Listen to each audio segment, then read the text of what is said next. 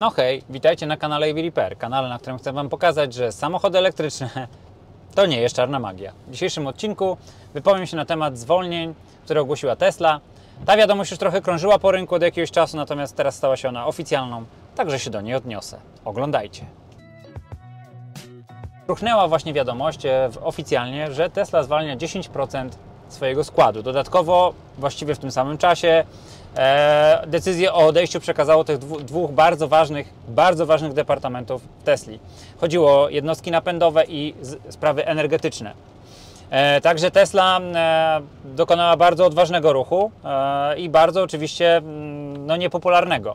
E, zwalnianie ludzi nigdy nie jest popularne, ale czasami jest niezbędne, żeby zachować pewną elastyczność i możliwości e, kapitałowe. Nie chcę, nie umiem się wypowiedzieć, dlaczego, w 100%, dlaczego Tesla taką decyzję podjęła. Domyślam się tylko i będę teraz snuł swoje domysły na ten temat. Wiadomym jest, że sytuacja na rynku staje się dosyć skomplikowana z tego względu, że pojawiła się agresywna konkurencja. Dotychczas Tesla miała tą komfortową sytuację, że była pierwsza na rynku, e, mogła sama dyktować ceny, a dodatkowo jej europejska konkurencja była niewydolna, a Chińczycy w owym czasie jeszcze nie nadgonili technologicznie. Natomiast w tej chwili e, Chińczycy są bardzo zaawansowani. Widać, że bardzo ładnie skopiowali technologię Tesli i ich samochody już bardzo nie odbiegają od tego, co potrafi Tesla, a dodatkowo e, widzimy już takie informacje w internecie, że Chińczycy dosyć mocno posunęli się w technologiach bateryjnych, gdzie oni już będą Tesla w tej technologii i w tych możliwościach wyprzedzać.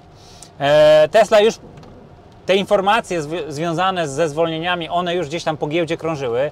E, W pierwszej kolejności te informacje docierały do nas od pracowników e, Gigafactory e, w Berlinie, gdzie tam już te plotki powiedzmy na dance floor krążyły o tym, że będą zwolnienia, a przynajmniej nie będą przedłużane kontrakty pracownikom takim, jakby to nazwać, bez headcountu, tak? czyli pracownikom na zlecenie.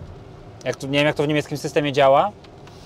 E, A dodatkowo Tesla też podejmowała pewne ruchy cenowe i konfiguracyjne, które, które, które pozwalały nam myśleć, że sprzedaż nie idzie najlepiej. Tak? Czyli pojawienie się e, Tesla Model Y w wersji cargo, e, pojawienie się Tesla Model Y long range, long, range przepraszam, tylnonapędowej, czyli takiej wersji long range ekonomicznej, na której Tesla oczywiście będzie dzięki temu zabiegowi troszeczkę więcej zarabiać, a jednocześnie wypełniać jeszcze bardziej szczelnie lukę, czy tam nie lukę, tylko część rynku, którą Y wypracował. Więc e, tak, to wszystko gdzieś tam sy- sygnalizowało, że Tesla zaczyna e, wchodzić w taki etap, gdzie ta wojna konkurencyjna staje się dosyć agresywna i Tesla potrzebuje coś zmienić. E, redukcja 10% zatrudnienia bardzo wydatnie zmienia też e, sprawy związane z kosztami stałymi. Musicie sobie wyobrazić, że to jest naprawdę gigantyczny oddech e, dla takiej firmy. E, I mam nadzieję, oczywiście nie jestem o tym święcie przekonany, ale mam nadzieję, że jest to ruch przemyślany, który przy okazji pozwala się Tesli mm, poczyścić e, z niechcianych departamentów i niechcianych procesów. Bo bardzo często jest tak, że jak w firmie jest dobrze, ja to też przechodziłem wiele razy w swojej karierze, jak w firmie jest dobrze, to bardzo dużo powstaje takich niepotrzebnych funkcjonalnie ludzi, a może nie tyle co ludzi, ale jakby nie chodzi o samych ludzi sensu stricto, tylko stanowisk, które przetwarzają jakieś procesy, które wymyślają na przykład, nie wiem, jakieś hasła marketingowe.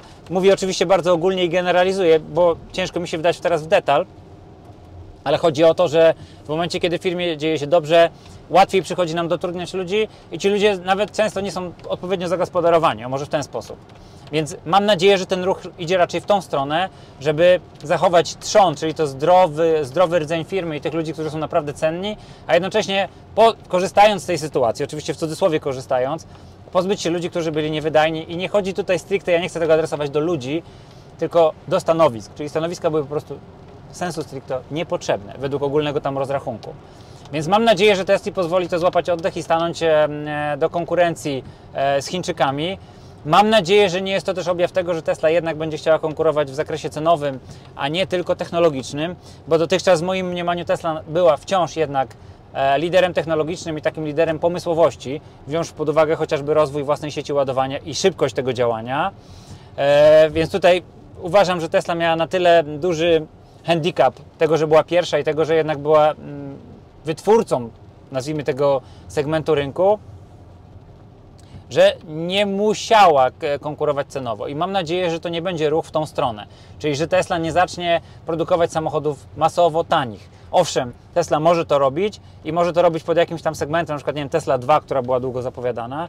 Natomiast nie wydaje mi się, żeby Tesla powinna e, ogólnie zmierzać w kierunku obniżania cen, raczej powinna iść w stronę rozwoju technologii, bo ma ku temu potencjał.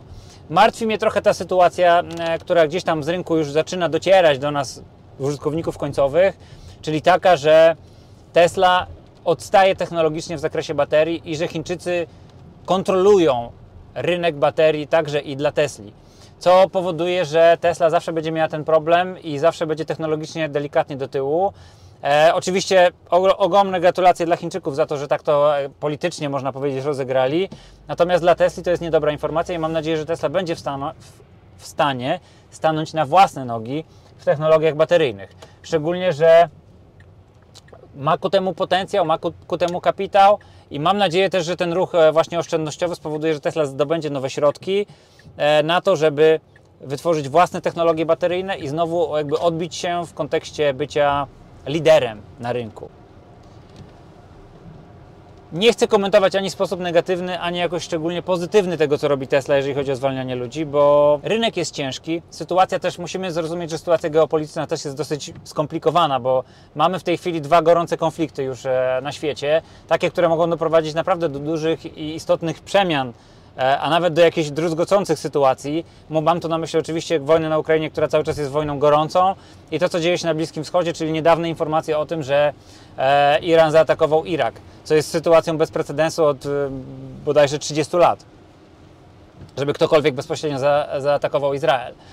Więc sytuacja wokół naszej zachodniej cywilizacji staje się dosyć gęsta i myślę, że ogólnie sprawy gospodarcze i polityczne w tym wypadku akurat bardzo się mieszają. W sytuacji takiej, gdzie rynek zaczyna być w takim momencie, gdzie zaczyna pojawiać się naprawdę dużo niewiadomych, bo naprawdę tych niewiadomych teraz patrząc, e, gdybym był Elonem Maskiem, naprawdę miałbym wiele znaków zapytania przed sobą, co robić dalej. Myślę, że odchudzenie się zawsze jest dobrą technologią. Sorry, że tak powiem, to jest trochę brutalne, ale z perspektywy właściciela dużej firmy, czy w ogóle firmy, zawsze łatwiej jest kogoś zatrudnić, chociaż może niekoniecznie jest to w ostatnich czasach tak, tak jasne, e, niż kogoś utrzymywać w momencie, kiedy nie jesteś w stanie sobie z tym poradzić. I oczyszczenie niepotrzebnych stanowisk. Jeszcze raz podkreślę, nie chodzi o ludzi, czyli o konkretne osoby, tylko po prostu o to, że wykonywali czynności, które były może niekoniecznie potrzebne, e, może przynieść Tesli tą ulgę i może pozwolić Tesli się przygotować na te trudne czasy, które wydaje mi się, że nadchodzą. Tym akcentem mogę w zasadzie zakończyć swoją wypowiedź w tym temacie. Liczę na Wasze, na wasze głosy i na Wasze komentarze na dole. E, porozmawiajmy o tym. A na teraz pozostaje mi tylko podziękować za lajkowanie, subskrybowanie, oglądanie i dalej prosić Was o wspieranie naszego kanału. Trzymajcie się, cześć!